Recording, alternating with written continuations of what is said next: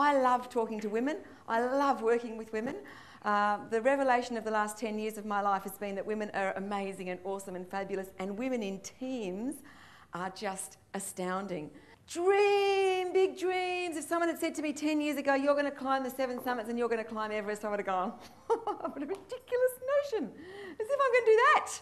Di's just been a fantastic speaker because she has spoken from her own experiences. She's shown us that those metaphorical mountains really are just another challenge that you can get up. Obstacles are opportunities. So every time someone puts up an obstacle in your way, either work out a way around it or step over the top of it.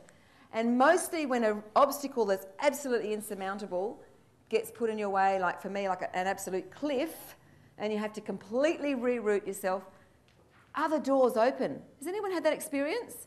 Because we've all got mountains to climb, and when we come and we hear someone speak from the heart as Di has, um, we know that there really isn't anything that we can't do. Have a big dream. It's so exciting when you have a big dream. It could be anything. We took seven women to climb Mount Aconcagua after eight years of learning what crampons are and learning what gear you need and doing lots of shopping. And when you're climbing a high mountain, you really want to give up because you feel like crap and you go, What am I doing this for? This is totally insane. And I even wanted to give up, and you know, I had every reason to be there on my, on my second attempt. And it was only one of the other girls at, at, at point that said to me, Come on, come on, let's do it. And she's inspired me so much that I have just committed to doing Kilimanjaro with her next year. So um, it's just going to be an amazing trip. I just had to join in somehow. So I am. I encourage you if you hate your job or if, you, or if you're ambivalent, change. Life's too short to hate your job. You want feedback. If you've got a team of people around you or, or, or, people close to you or your good friends, encourage them to give you honest feedback. Hit me with the yucky stuff as well. You will learn the most. Feedback is fertilizer for the soul.